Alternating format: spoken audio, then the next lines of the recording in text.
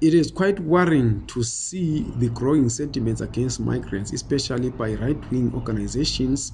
uh, here in South Africa, which are blaming migrants for almost every socio-economic problem that is happening in the country. They are blaming migrants for unemployment rate, which is rising and hovering around 37% right now, uh, and the growing crime rate. When we know that uh, the migrants are, not, are just a fraction uh, of the causes of these problems, uh,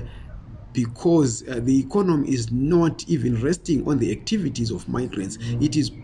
though, therefore worrying to see even the ruling african national congress which will be quelling these uh, sentiments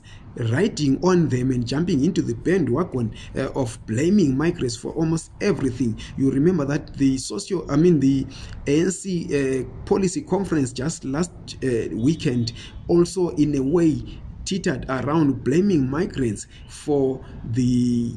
security situation in this country and they are blaming the existence especially of illegal migrants uh, for some of these problems like crime uh, we also heard the spokesperson of the ruling party mr pule mabe saying that south africa cannot be held at ransom by foreigners and he was blaming illegal migrants for the rising crime rate, rate in this country especially after the